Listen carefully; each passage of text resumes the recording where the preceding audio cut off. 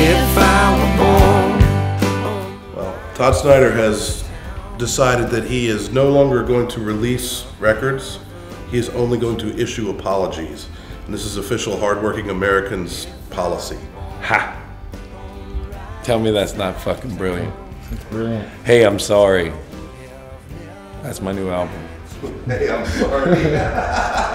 and Todd is like, people always want to tell me their life story. They want to take 20, 30 minutes of my time and tell their life story, so I have a sign that says, Don't tell stories at Todd.